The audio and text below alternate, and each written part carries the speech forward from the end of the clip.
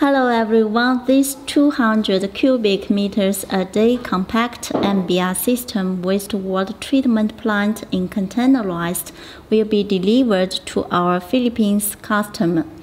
MBR system is a wastewater treatment process combining membrane filtration with biological treatment. This innovative technology offers several advantages over the conventional process. First, compact design makes it need smaller footprint. Second, minimum construction work on site and easy to install and relocate it.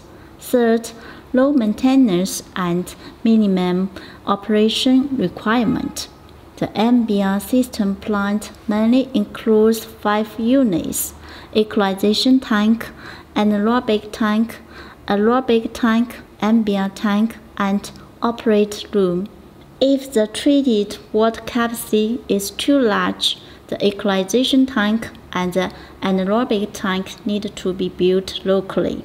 It is widely used in domestic sewage, hospital sewage, and industrial wastewater treatment.